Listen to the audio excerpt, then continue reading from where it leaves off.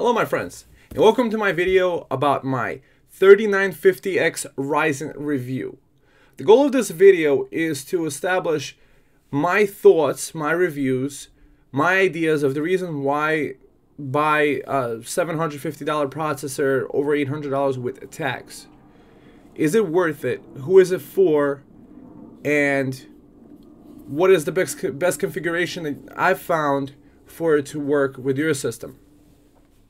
So I'm currently running a 3800X uh, Ryzen board with 3600 megahertz RAM. The board I'm using is the Aorus X570 uh, Pro Wi-Fi 570i. That's the ITX board.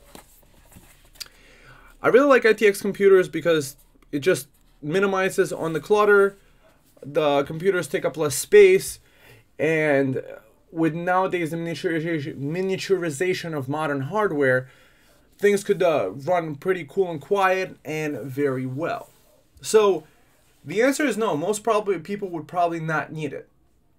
But it is kind of nice as a hardware enthusiast to actually have having like really good hardware. I've really enjoyed the 3800X processor.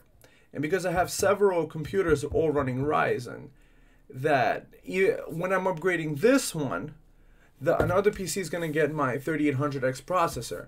So right now where I'm going to be replacing one of the computer's coolers, and this is the cooler that I'm going to be running uh, on that computer, the U9S, it has a 2700X. That processor is slower, louder, and also creates more heat. When a processor creates more heat, it runs the cooler at a bigger capacity. So if you want your computer to be running cooler, you want also a better cooler. But uh, if you have the 7 nanometer process, which this is built on, you have the additional benefit of it being more power efficient, more powerful, and ability to do a lot more. I'm on my computer a lot and I, I love PC stuff. I watch the Linus Tech Tips channel. Level 1 Tech is really good. Uh, Tech Jesus is good too. I forget his name. Nexus. Anyways. So most people won't need it. But we all have to come up with justifications in order to spend money for really nice things. But what I do find is that when you have really nice things and you could be appreciative of them for, and if it's running on your main system, for example, it is something that could be there with you for years. And nowadays, with the stuff that's happening, um, unfortunately, uh, with the China and the manufacturing capacity that might be disabled for a while, I figure when you have the chance, take the opportunity. So, in some ways, some people could describe it as fear of missing out, but then at the same time, it's also, um, hey, if you if you could afford it, if if it doesn't cause you financial hardship in order to get it to be able to have the nicest thing, then might as well get it and enjoy it. Especially if this this this thing was sold out for a long time. Apparently, it had really large demand, or they just couldn't produce enough of them. So what's cool about the Ryzen 3950X, it's a 16 core 32 thread processor. And we're talking this about this in a desktop platform. Intel used to be a lot more expensive with the same 16 cores. It used to have an 18 core like closer to $2,000. I probably wouldn't spend that much.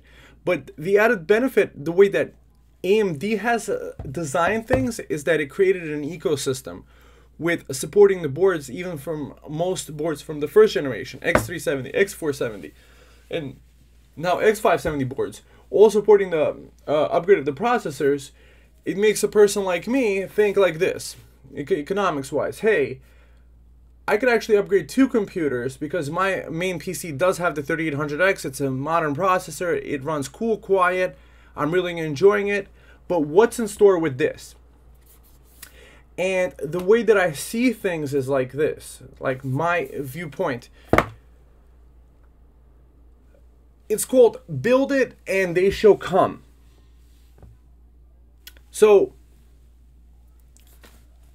I feel like having that crazy processing horsepower as a beneficial way of maybe running more programs at the same time. I like the idea of having a more processing cores so that even if you have a lot of processes running in the background, a lot of uh, RAM, as an example, um, I used to build PCs only with 16 gigs of RAM. Now I only build them with 32. Why is that? I find that with all the programs I have open, with the Chrome tabs, with the I, I use Opera actually. I like Opera better because it has this pop-out window. But anyways, I find myself consistently using over like 13 to 15 gigs of RAM. If it, if it was in the olden times, I would be hitting a wall very soon. But having the 32 gigs, having that extra headroom is fantastic. And having that extra responsive processor, you, are able to run all that things very quickly. But I do find sometimes when I do open too many things up at once, it does slow down a little bit. And I was thinking like, what would it be like if I had the 16 cores? And that's why I got it. I want to try it out. I want to see what it's like because I'm having a really good experience with the 3800X. The previous generations weren't as good, but AMD definitely, I think, hit a home run with this line of processors. And here's also my viewpoint between the 3700X and the 3800X. I do have a 3700X system, but that was the only thing available when uh, the new generation of Ryzen launched. So I got that and built a PC with those. 3700X is excellent. Uh, lower TDP and really good. But I heard a window from Level 1 Techs say this, is that the 3800X has one huge 8-core chiplet on it, as opposed to possibly the 3700, if I understand it correctly, that it might have a couple 4-core chiplets, uh, separate NUMA nodes, and somehow via Infinity Fabric they could interconnect. So that's fantastic, and also probably when you have the, the 3900X, which is not this one, the, the 12 core processor, it could have like maybe a 6 and a 6 core. Because when they produce it, when they produce the chips, only a few of them, the creme, de la creme, the, the top ones, can be in a chiplet by themselves.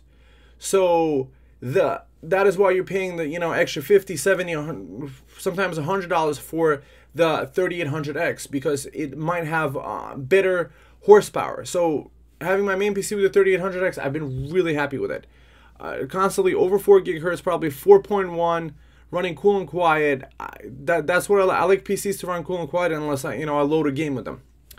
So with the concept of build it and they shall come, I feel like I could motivate myself possibly to learn a little bit more about DaVinci Resolve and do a little bit of video editing here and there to be able to get my points across. But I do feel like I should still continue honing my skills of being able to get my point across in as few words as possible. Because, you know, we all get busy, we only have so much time, and it is entertaining watching people. But here's what I'm basically going to be doing is I'm going to be putting a replacing on my X570 board, this one, the ITX board that I have.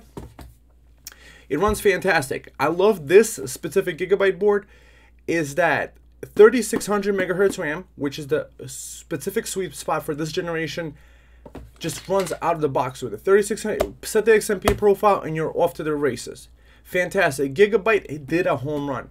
I, I've been actually being having an affinity towards Gigabyte boards lately, especially. I had a I have a first generation X370 board. Oh, it's fantastic. Actually, I, st I still love it. It's in it's in one of my other PCs. So this is going to be paired. This processor does not come with a cooler, so it is a hefty price tag. But the other one comes with a free cooler. But I personally found that the, the, the included coolers with the 3800X, it's fine for most people, but I like having the best of the best. And I believe Noctua is the best one because, you know, with all the reviews I've watched personally, is that Noctua fans, they make the least noise and give the most power with the least amount of RPMs of the best cooling performance. So right now my 3800X is being cooled with that cooler. Hopefully it should be enough with it. And I'm good. I am going to be using an air cooler, but I think with modern components it's okay. So if this guy stays at 4 gigahertz all day long, I'll, I'll be okay. 16 cores. I'll have to somehow chug along uh, with it. And I've also switched, out switched out of using thermopaste um, for a while now, and I've been using this IC Graphite stuff. Linus Tech Tips actually did a review on this, and that's why I've been getting it. This thing has amazing reviews on Amazon. Perhaps I'll link it, but you know I'm not planning to give any affiliate codes, so I might link it, I might not. Just probably look it up. Uh, the benefit of this stuff is that it doesn't get messy. It's easy to replace the processor. It also doesn't degrade. What I believe with thermal paste is that all of them dry out at some point. And when you have dried out thermal paste, you don't have the same thermal performance. With less thermal performance, the fan has to spin louder and hotter. And we don't want that. So in the end, summarizing things. It's cool if you could have it. For me as a tech enthusiast, I love it. It's like somebody having a hot rod card that's an enthusiast in that market. Uh, it's also a motivation for me possibly to learn a little bit about DaVinci Resolve and uh, do a little bit of video editing and learn about this thing because right now we're all communicating through video and chat and pictures and things like this. We're living in a completely different world. So uh, that's my that's my thoughts on it. And another PC of mine is going to get upgraded with my 3800X, which has a 2700X in it. So two PCs get you know upgraded with this. And also, I've been kind of following the principles that if you could double something, that's a that's a true upgrade. So really happy to do that. And yeah, I did upgrade this PC from a 2700X to the 3800X, and I'm happy I've done it. I'm uh, happy to be running the best components that I can, and the the experience also it's nice. I I can only say it's really nice. Ever since the X570 platform, with the with this specific gigabyte board, with having full RAM speed and NVMe 4.0 drives, I recommend the Gigabyte one too, because it's encased in uh, solid copper, so it has a nice copper heat sink around it. Yeah, you could remove it, but why would you do that? Because it gives it a much better thermal performance. So that's my review of the 3950X why I bought it or review at least up to this point. Uh, maybe I'll do a conclusion review later, splice it into here, give it a link below, but I don't know. Just doing this off the cuff, doing it out of my own passion with the hardware. Love to hear your comments below. So go ahead, you know, comment, uh, see what you think. You know, what are what what would be your reason why you would get a 3950X? Because we will have to kind of like. Uh, break through that barrier eventually. It's like buying $750 processors plus tax and shipping it depends it depends if where you're ordering it from. Uh, it becomes kind of like by the way, I think Micro Center might have it for 700. Anyways, that that's my take on it. Write your uh, views below and happy to talk. Talk soon. Bye.